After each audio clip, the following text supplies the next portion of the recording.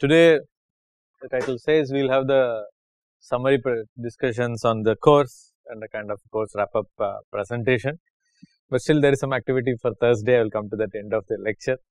It is not uh, uh, yeah. So, let us quickly or we can take our time we have an hour to look at uh, the various aspects of the systems course that we have done and uh, then we can take a look at what we were um, what I thought have I tried to convey and see whether uh, you have also have the same uh, uh, thinking. So, we started with systems in fact, we one of the first question we asked ourselves what is a system and then we talked about that it is you know um, system something made up of many interacting components or parts is what we define. Uh, but then immediately almost immediately we abandoned the system because even though the course title is called system dynamics you only model the problems or issues you never model the system. Um, that is the first uh, kind of uh, ironical that we did not really model system, but we took a systems view of things uh, and started focusing on the problems and the issues. So, what we overall what we want to model? We want to model the assumed or perceived underlying structure of largely closed world uh, closed loop real world problems. What we mean is we want to find out endogenous explanations for whatever phenomenon we are observing or whatever uh, thing is happening we want to observe uh, we want to incorporate that as part of our model. Uh, sometimes we need to make assumptions and we need to bring out this underlying structure outside it may not be readily apparent so we end up having discussions and then making some assumptions, creating table functions to actually elicit this model uh, and come kind of build a closed loop model of the uh, entire scenario. We ended up using various structures like delays, material flows, information flow, decision making etc. were all incorporated. Uh, how did we do systems thinking? These are the some of the components that we went through. Um, we started dynamic thinking that is graphs over time or behavior over time graphs were constructed and we have been looking at it for the entire semester.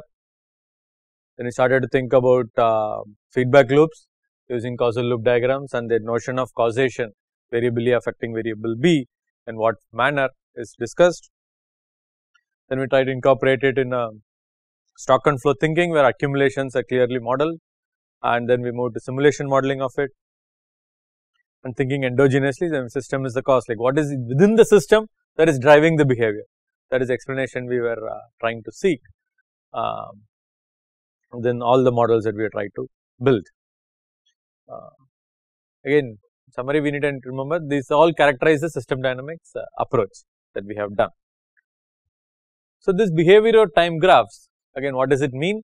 So, behavioral time graphs what we want to represent is uh, they are also known as dynamic reference modes.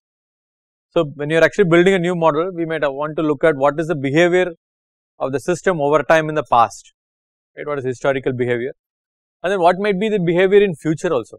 This is helpful in understanding the problem.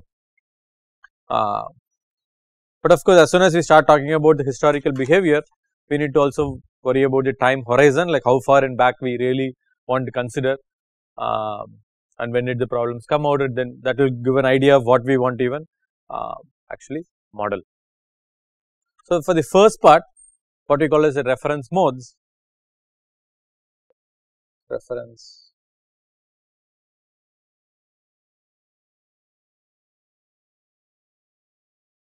reference modes are nothing but behavior over time graphs BOTG means behavior over time graphs.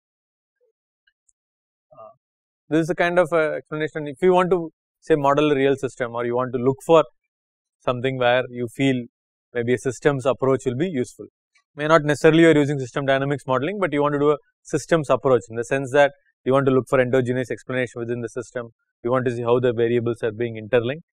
So, then one of the first thing we might want to look at is this reference modes and reference modes again x axis is always time. This is some variable of interest, some variable x of uh, interest that we are looking at. and if this behavior is a linear straight line not interesting. If it is linearly increasing again not much interesting, linearly decreasing not much interesting. Uh, even if it ex exhibits an exponential growth that also we know it can be modeled as a very kind of simple system. Uh, if it is exponential decay the underlying structure is quite uh, straightforward that we want to uh, model. So, it may not or if it is a you know, goal seeking model it does not require too much effort, but you can actually uh, make the things explicit. What will make it interesting is suppose we have uh, graphs like that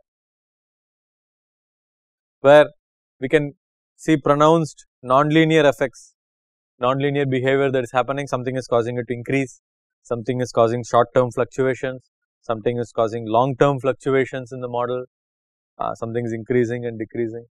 So, whenever there is at least some increase or decrease or shift, the increase and decrease denote there is a shift in the feedback systems. That means at least there is two feedback systems operating. So, one is driving growth, the other is diminishing growth and there is a shift in those feedback systems is happening endogenously. What it is now becomes an interesting question to try and uncover, right. So, one of the first things we want to do is look at some of the key behaviors and see what kind of behavior patterns are we actually seeing. So, these are called as reference modes because mainly they look at the uh, historical uh, historical behavior.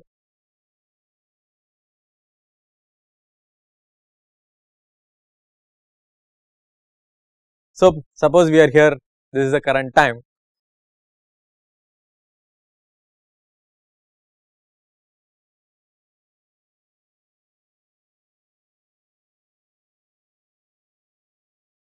typically we would end up drawing couple of patterns in it like what we call as uh, hope or fear. These two trajectories represent what you hope system will behave in future and what you fear the system may actually end up doing in the future. Um, it can it can be the other way around you might want to hope the system goes down and fear could be that it, it uh, worsens. It is just an assumption here that uh, larger is better, so hope is higher versus uh, that is just an implicit assumption, but it can be other way also. Increasing can be fear and decreasing can also be a hope that system actually subside ends. You know, um, um, like if it's uh, if it's your whatever if somebody is sick and this is their uh, fever profile, you might want it to your hope is system will subside and people become better, right. So, it, it can be that one also. So, but this kind of we want to see whether if we are able to build a model which reasonably predicts, reasonably replicates this behavior, then in future we may um, see what happens in future and have more trust in the model. So, that is why the reference mode becomes important to see what we want to replicate uh, or behavior over time graphs or BOTGs. So, one exercise or one thought process for of you will know various projects in various fields, you may want to look at uh, some of the data that is actually changing over time and see what kind of dynamics are there. So, most often the system will look highly nonlinear and with short term fluctuations and long term uh, uh, fluctuations. Okay. A few examples about this time horizon. So, time horizon affects how much we want to see for example, uh, given from Sterman's book, this is looked at a 10 year time horizon of the uh, oil production and consumption. The consumption is uh, kind of flat, the imports um, production in lower states are this line here and in Alaska fills the gap. So, the rest of the consumption is uh, handled through imports, it is fairly stable with a slight decline in production and uh, slight increase in uh, consumption is flat. So, production seems import seems to be uh, increasing steadily. Uh, this is a dollar price per barrel. It seems fairly flat for a 10 year horizon. However, if we increase the time horizon to since kind of oil was discovered, you can find a nice rapid exponential growth within the model and see a peak seems to be the first oil crisis hits 1970s and since then it has been kind of falling down. over time.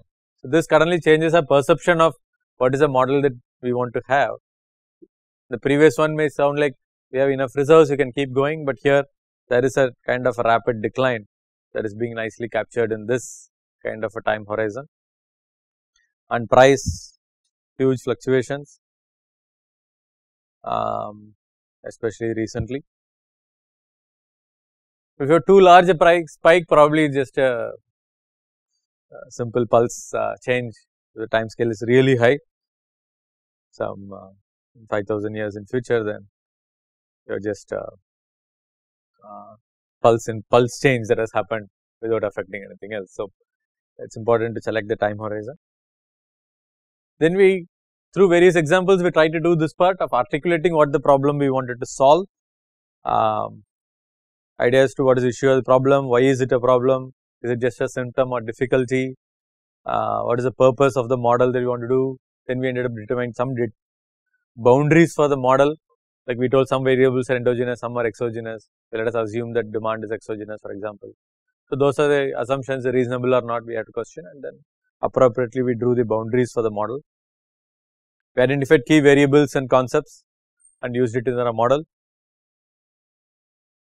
Examples include business model to understand production inventory dynamics of firm, we did that. Model to explore policy to mitigate global warming, we did not work on that, but these are some examples where uh, the scale is completely different. When you look at a business model, you are looking at one uh, company's model, their perspective, their policies, their management structure, their management policies etc. built in and how they interact with the consumers is the model. But when you start talking about policy to mitigate global warming, suddenly you are looking at thinking of a model which talks about the entire world and how various industries, does not matter what type of industries or activities happens, how it contributes to this uh, global warming um, is what we are now interested in. So, the scale, the dynamics, the type of variables all are going to differ. Um, again, how detailed a map you want of territory affects the size of the model that we want. Do we want the entire uh, world or you want to look at a small isolated region? Is it one business or is it multiple businesses, one cities, multiple cities? What is it that we want is, uh, is up to us. from so no we model with the system's view of things, but we never lost track of the we do not want to lose track of the problem that we are trying to see like uh, when uh, uh, but the approach taken to teach it could be that there are descriptions given. So, it felt like the problem is already defined uh, or was not really apparent, but we wanted to see is okay there are some fluctuations in say housing dynamics that happened we are seeing some population increases and decreases we are trying to look at models trying to explain that. So, we want to revolve around it. So, we have some variable and say how does this variable affect the next one, how does that affect the second one etc. we keep going. So, that is the approach we want to take. So, why never a system is because then whenever we start then we will end up modeling the entire world. Then only model that will ever work is the entire world model. That also may be limited. Then we want a model for the entire universe or whatever. So, it is too uh, it will become too big too quickly. Like if you want to model the uh, say uh,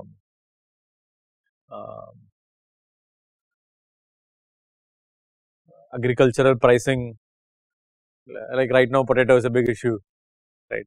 In some districts in Uttar Pradesh I do not know if you are following the news. Uh, earlier it was sugarcane the last year it was tur dal here there is a lot of inventory of tur dals. So, it, keeps happening in cycles. So, those are actually called as production uh, commodity cycles. It has been well studied. And how it uh, keeps changing because uh, it's just driven by the supply and the demand and because of the lead time things get to accumulate and things like that. Um, which uh, affects in a longer term. So, people look at short term solutions because election comes more often than people are going to see the cycles. So, people are interested in short term fixes um, which uh, anyway that is a policy part. But then if you want to model that then we are going to focus on okay let us look at what is the dynamics of the potato inventory that is happening etc. We do not want to model every agricultural product with the entire northern belt. We are looking at okay let us model the potato uh, and the inventory of potatoes or the pricing of potatoes and the money the farmers get within a region say in Uttar Pradesh. So, that is what we mean by focus on a problem. So, the entire system may be slightly bigger than what we want. Okay. So, to do all this problem articulation we actually used causal loop diagram. What the causal loop diagram actually captured is what is called as a dynamic hypothesis. Uh, in statistics and other fields you must have studied about then hypothesis and testing of hypothesis.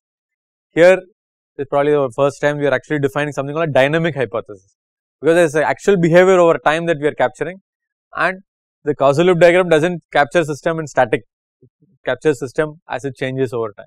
And we want to define that causal loop and say this behavior, this diagram we expected to you know uh, cause the underlying dynamics that we are actually seeing. So, that is a hypothesis that we want to then validate using simulation model and verify using simulation models. And always we try to seek for this endogenous explanation of the phenomena. Um, we drew many many such causal loop diagrams. As shown here we identified variables, we used arrows to say uh, how say birth rate affects rat population. Plus all causal links had polarities. A plus sign indicates uh, as birth rate increases population increases. Or uh, negative sign indicates that birth rate death rate increases the population actually comes down the impact is in the opposite direction. Um, if in a loop all the links are positive, then we have positive feedback systems. Uh, if odd number of links are negative, then it becomes a negative feedback system as shown here birth rate, rat population, population density increases, population is increase, increases infant mortality, infant mortality increases, birth rate, effective birth rate kind of decreases. That becomes a negative feedback system. Again remember try to use noun and noun phrases, the action is already captured by the arrows that we want to uh, that we have been using.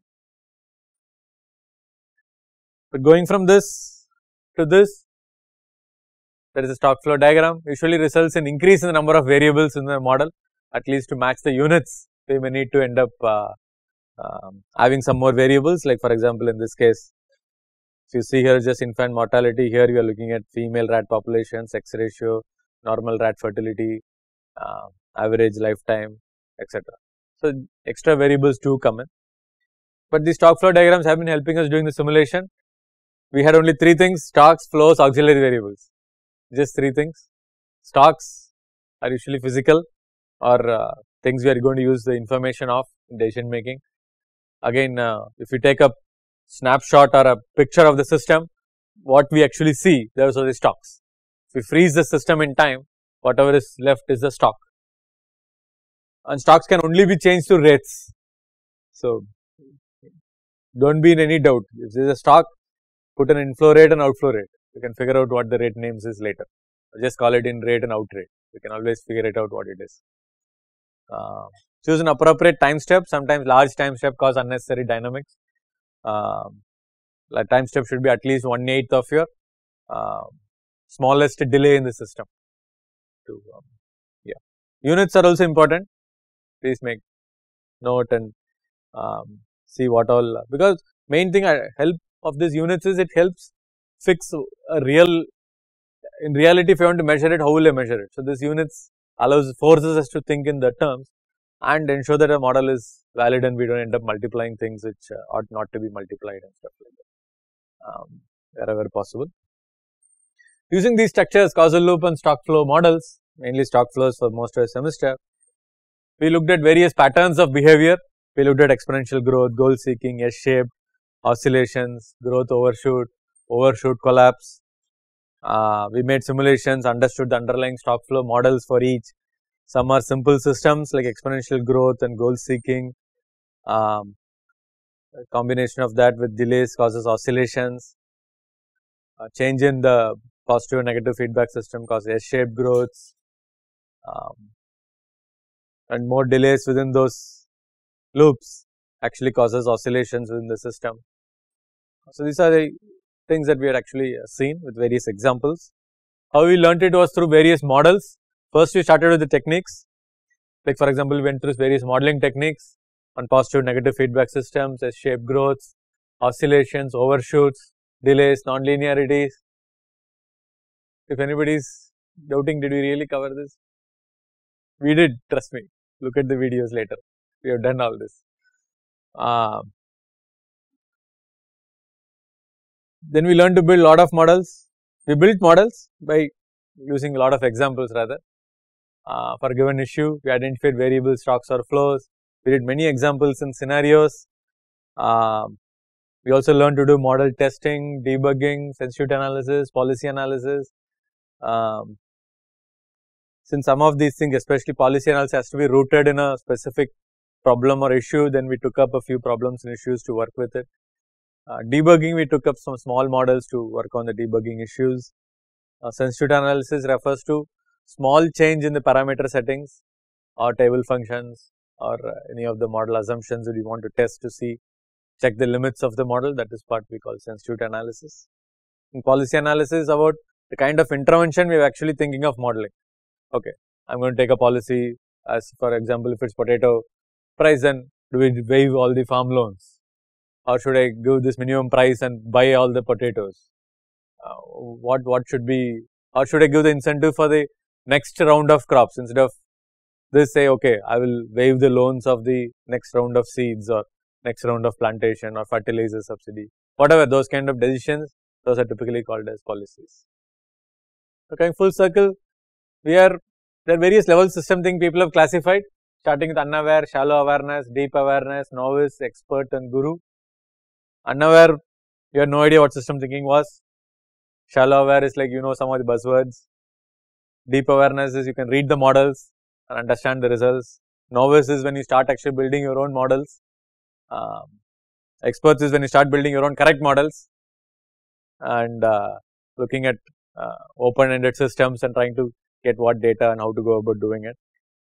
Um, hopefully, many of you are here this novice part you are able to actually build a model, look at it, um, at least definitely read models, definitely understand what people are saying when they communicate, look at the results and see what kind of systems structures may be underlying the phenomenon that we are looking at uh, and then keep practicing become experts. I hope we are all here. So, what next? Long term next, not immediate short term. Read more on system dynamics if you are interested in this. I hope some are. The system dynamics modeling by Coyle, business dynamics Sterman. There is interesting set of books, System Zoo by Bossel. He has a what you call a zoo of models uh, various scenarios. Fifth discipline by Senge. The fifth discipline is a what can I say? Uh, it's a more light read. There is not heavy equations and stuff, but he tries to present systems thinking more. Uh, so, looking for journal articles, System Dynamics Review is the flagship journal here. So, a lot of system dynamics work get published in this journal. And there is also a conference called the System Dynamics Society conference held every year. That happens in July. So, in the conference website they publish the proceedings and many of them we publish our papers as well as we upload our Vensim models or PowerSim or whatever the model file also. So, that people can download and understand it. Um, there is range of articles from teaching to implementing to uh, really new ones. But if you want to move from novice and at least not regress back to a shallow awareness, you have to keep working on some SDs incorporated part of a project or something that you may work on, try to do some advanced courses in SDs or only way to learn is to do a specific project. So, if we work on some specific project area then we can say can we use SD to look at it and then we learn through that under um, with some guidance. Uh, there are other notions in SD something called group model building since many of the systems are so large it is difficult for one person to understand it uh, we need to go methodically a, as a group how we can actually model the entire system to talk to each other. Uh, we have all done group homework there. It's not the same thing at all. Nothing compared to that. We had actually work, get a model working and working as a group. So, uh, two different things. Um, the various notions of control theoretic methods and optimal control which can be applied here to the models that is something you might want to read up and learn and see how it can be used. Again as I told you underlying are all differential equations. Uh, so, some of these notions are very useful in identifying our key variables and key um, point of leverage within our SD models. The exploratory modeling analysis another big area which is coming up in the last uh, 3 maybe 5 years. This is where machine learning meets system dynamics again fantastic opportunity for people to do that. uh, because system dynamics with so many policy settings and so many sensitivity analysis, it can generate rich amount of data, but then machine learning can help us figure out and classify all our system behaviors to figure out where is the leverage points in a very systematic manner. That entire field is called as exploratory modeling and analysis. Uh, if you search for this particular phrase, you may find a select literature uh, on that. Um, yeah, one of my PhD students Siddharth has also done some when now he has graduated. Uh, he has done work on this exploratory modeling for uh, supply chain and healthcare and stuff like that. So, his thesis is also there for reading. Interact with the SD community. Um, as I told, there are nice conferences, workshops. There is held even in India. There are things happening. You might want to do that. So, yeah, that's it. Questions, comments. This is all we had done in the course.